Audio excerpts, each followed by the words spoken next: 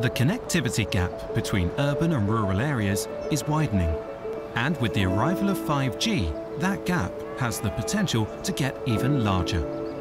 But what if it didn't have to? What if rural communities could benefit from the same fast, reliable mobile networks the cities enjoy? What if 5G could build a bridge between urban and rural communities and reinvigorate the businesses and industries that drive rural economies? And what if that solution all started with a single farm?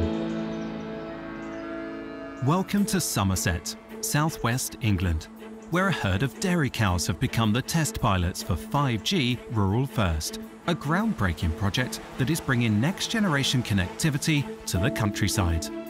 We've been working with Cisco, who's been leading the project, to look at the wearable technology the cows have on them and can the data from those be transmitted by 5G direct to the cloud. The real-time data enabled by the 5G network allows Duncan's staff to monitor how much each cow moves, eats, milks and rests, making it possible to better ensure the cow's health and happiness and address issues early before they become big problems. Unlike traditional dairy farms which feed and milk on a set schedule, cows here decide for themselves when it's time to eat or line up for the automated milking system. They actually prefer to be milked more often than on a typical dairy farm and produce up to 20% more milk as a result. It's one way that next generation connectivity is boosting the economies of rural communities and bridging the digital divide between cities and farms.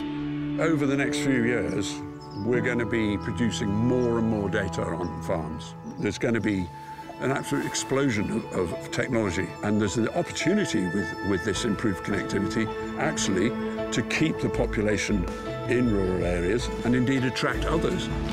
Bridging connectivity gaps is about more than communication. It's about the chance to build a digital link between cities and rural communities. Cisco is working to bridge urban and rural areas in innovative new ways. And connected cows are just the beginning.